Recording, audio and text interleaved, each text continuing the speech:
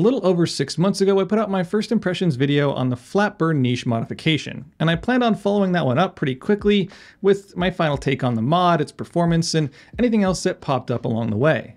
But then all of a sudden, Niche themselves, not to be outdone, dropped their own flat burr option with no warning on the questionable day of April 1st.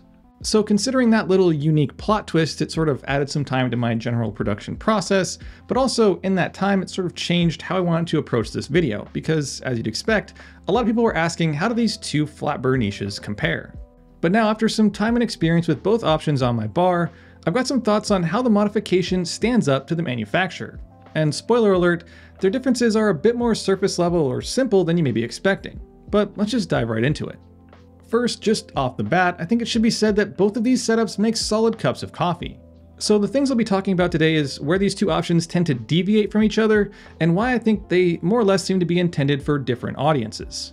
Because really outside of a few factors, the Niche Duo and the Flat Burr mod aren't all that different in the spirit of their design and installation. In fact, the entire process itself is more or less identical. Drop in the bottom burr, secure the center bolt, drop in the top burr, and install the collar adjustment dial. But when you look a little closer, the burr carriers on the Duo just have a more clean, smooth fitment with a more consistent tolerance. On the other hand, the carriers on the modification have a few imperfections. There's a variance of materials, finish, sweeper designs, and even some sanding had to be done on one that didn't directly fit into my Niche Zero's chamber on the first go around. There's also one very noticeable difference, and that's the burrs. The modification uses 54 and 58mm burrs, while the manufacturer uses 83. And even though looking at them side by side the difference is downright shocking, in my testing there are two main things that set them apart. The first is grind speed. Side by side grinding 10 grams of coffee on espresso settings, you can see that even on the fastest setup on the modification, the 54mm Faema burrs, it still takes nearly twice the time to grind through the same amount of coffee.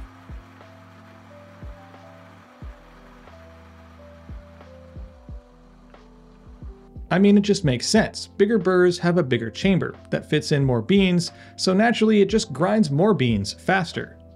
Also, the Duo does have a higher RPM, spinning at 530, and the Zero does 330 with its stock burrs, so we're somewhere in that ballpark when we have the mod installed. But as I mentioned in my original first impressions video, the burrs, mainly the 58mm, can grind painfully slow, especially when it comes to espresso.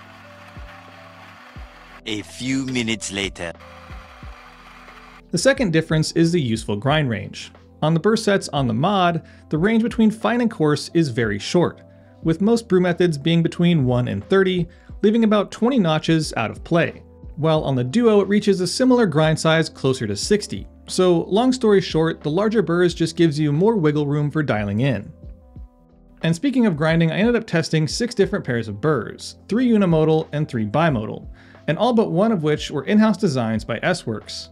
Now, I should preface this by saying that not all these burrs that I tested are actually up and available for sale. In fact, only one of the burrs that I tested actually is on our website right now, and that's the 54mm from Faema. All the others may or may not even make it on the website because I think most of them are testers or prototypes. But I can confidently say that each of the sets I used brewed solid filter coffee.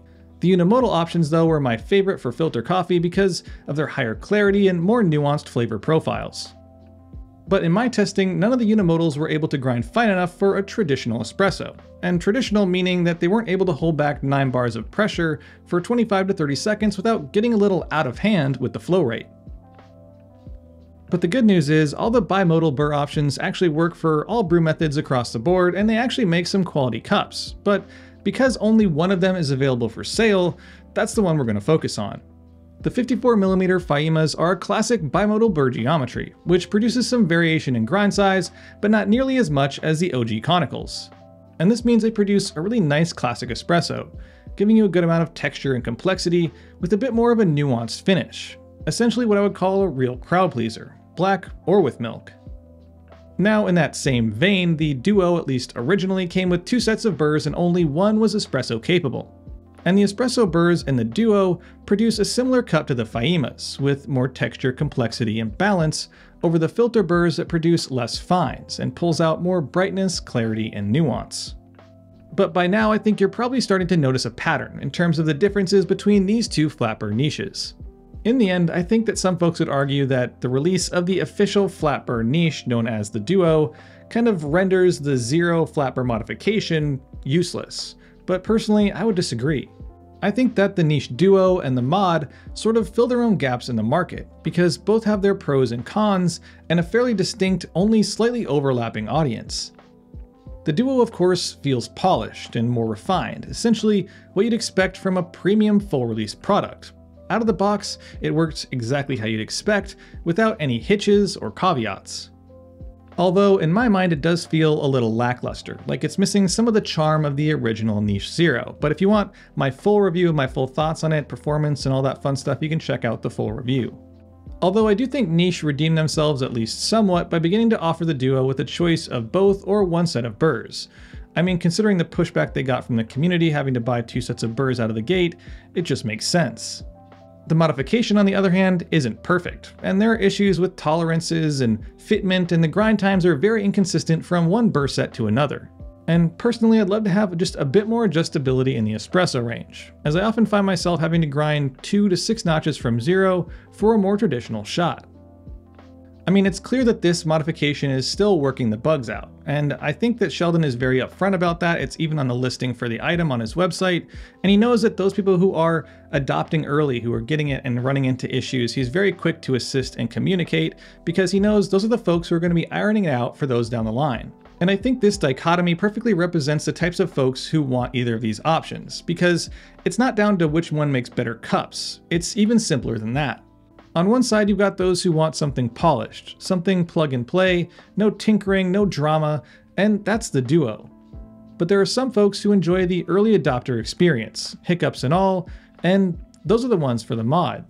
Now, personally, I don't really have any insight on what happened and what the conversation was like when the folks over at Niche, either in a boardroom or a conference call or a Zoom meeting, decided to make a flat burr grinder with two sets of flats because I can't help but believe, or at least speculate, had they gone the same route as the modification and made a grinder that had a swappable set of flats and conicals, that it would have been more warmly received by the coffee community. But until then, the mod is what's out there, and I have to say, I don't really mind being a bit of a guinea pig and dealing with some of the possible or maybe even unexpected drawbacks of being an early adopter. And honestly, I prefer the modification purely for the fun of having a true 2-in-1 best of both worlds option on my bar. But with all that said, I think it's time I start wrapping this one up, and as always, pass the conversation on to you. What are your thoughts on the niche duo up against the flat burr modification? And also, which camp do you fall in? Are you camp polished finished product or camp early adopter slash beta tester? And also lastly, how long do you think it'll be before someone drops a production flat burr and conical grinder on the market? Drop your answers to those questions and any others you have in the comment section down below. And as always, I'll see y'all next week. Thanks for watching, and if you enjoyed the video, don't forget to like, share, and subscribe. Hit that little bell button for notifications of new videos posted every Friday. Check out my Instagram at Sprometheus for content throughout the week. And as always, stay caffeinated. Ponyboy